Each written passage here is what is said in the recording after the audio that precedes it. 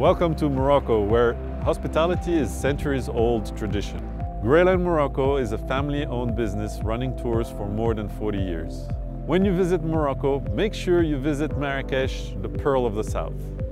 In Marrakesh, you'll be able to shop in the market, visit historical monuments, and eat delicious food.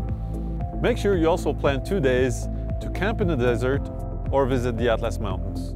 We at Gray Line Morocco are looking forward to seeing you soon.